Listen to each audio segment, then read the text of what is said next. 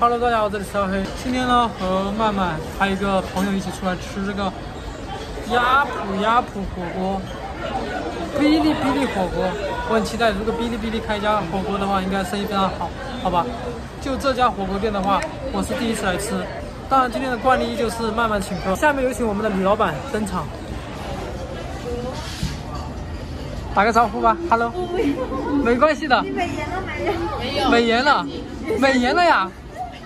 真的美颜了，老老板，今天让你破费了，我准备多吃几颗牛肉。A A。A A。我两 A 呀。我两 A 呀。我两 A。大家多多投币啊！OK，刚刚我已经下完单了，就随便点了几份牛肉，什么肥牛、牛眼肉、和牛什么的，也不贵啦，也就几百块钱。虾滑，这个虾滑好少哦。看看面，封面，一口就没了吧？对，按一个人的份算的。它是按一个人分量算的。一个人的份量。哦。对，所有菜的分量都是按一个人算的。我去，这也太贵了吧！所有菜都按一个人的分量来算。哎对，这个也是哦。是南美精选肥牛。哦，好好好放煮。时间是八到十秒。看一下这个锅里的颜色还是非常棒的，就是就是不知道吃一下香不香。介绍一下这个什么？什么了？色面三色面，然后呢？就一坨，三坨，三坨一，人分量。一人吃一坨嘛，一人一口嘛。哦，我的可乐我。不要冰的，我不要冰的。冰的吗好嘞。然后这个是我的调料，吃火锅。你这这个干碟、油碟，看过来，你这三百多吃不吃得饱啊？吃的吃不应该是吃不饱，但是吃的精致一点嘛，小资一点。看来曼曼不是特别满意，他下次去吃自助吧，去吃自助那性价比就非常高。吃自助我们三个人一人一百多块钱，我说那个真的是。这感觉不一样，这个可能味道可能更好的嘛。我们先不要，我们先不要以价格来，先不要以价格来评论，我们先来看一下口感，这个食材的那个这个食材，你不是普通的豆腐皮，是进口豆腐皮那种。这个是日本产的豆腐，去拿调料。这是日本豆腐，然后这个牛肉也是日本的牛肉，有吗？它的产的是日本牛肉呀。哦，那个是巴西的，巴西的，那是巴西的，这搞错了，它的其他就是巴西的牛了吗？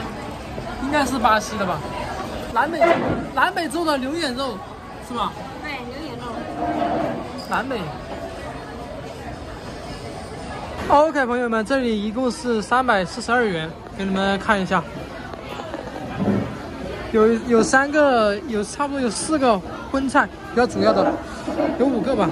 啊，牛肚，两盘牛肉，一个虾滑，这边是一个牛黄喉，其他的菜就很普通了。今天尝试一下这个南美牛肉，不是国产的。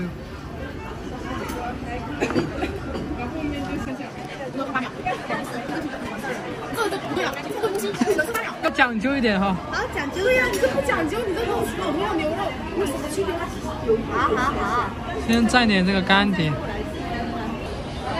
他也没说明天要不要，是因为他这个店大，连我家的芋头都没有。可能是我煮过头了，但是能够明显的感觉到这个肉的口感是非常不错，肉的味道非常浓。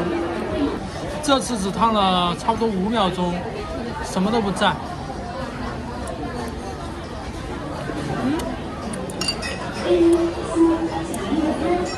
这个这里是什么都没蘸，然后呢只烫了五秒，肉质非常的筋道，一入口那个牛肉的味道特别浓，确实要比我之前吃的那些火锅店啊、自助餐厅里面的牛肉好一牛肉要好一点，这肯定的。曼曼，我现在采访一下，你觉得这顿这个火锅的牛肉怎么样？感觉吃不出来，怎么吃不出来？我也觉得差不多呀。差不多，嗯，然后就觉得有点有点小贵啊。不叫小贵，叫大贵。这每一口都是甜的。哎，这位采访你一下，你觉得怎么样？吃的也没什么区别，我感觉。就跟普通火锅没什么区别啊。对呀、吃饱了吗？哎？没吃饱啊，没吃饱，然后请你去外面吃那个路边摊，吃两个臭豆腐，在沙县大酒店拌面扁肉，走嘛，吃好的，海海天盛宴，好，走吧。嗯，老板在买单了，老板在买单了，谢谢老板，老板大气，老板大气，拜拜，小姐姐，拜拜。